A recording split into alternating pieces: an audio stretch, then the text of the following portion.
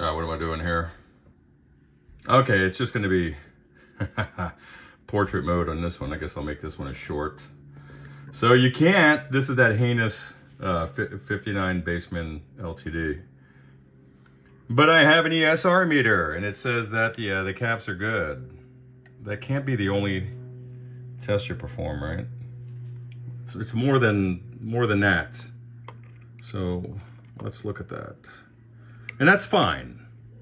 That's, that's in, well, for a lot of people that just, that just works, but it's, it's not the end all be all. Okay, so take a take a look here. Okay. In circuit leaky. Why is that?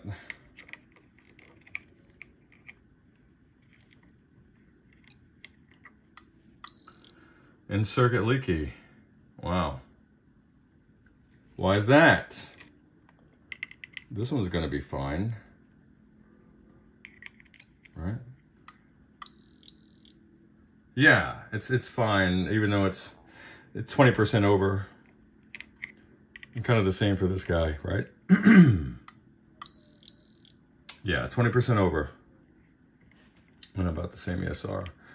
Well, remember this one? These two? These are the series caps that, that form the reservoir cap.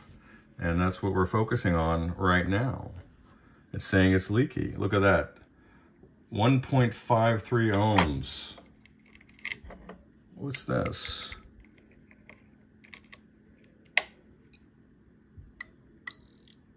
Oh, is that 1.56 ohms? Pardon me. Just had major surgery. And 1.53 ohms, the same ESR values that uh, that were presented here on this uh, very expensive meter. Equivalent series resistance is what we're looking at here.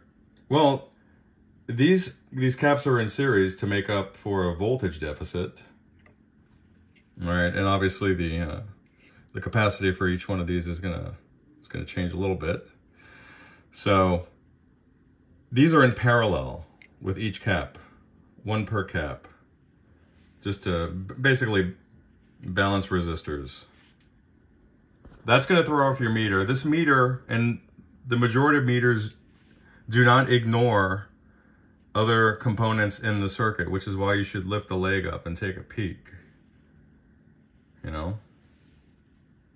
So unless you have um, an old school uh, meter that uses RF, which will ignore the other components in the circuit, like the old uh, Paco, Paco stuff, which I shouldn't have gotten rid of that one.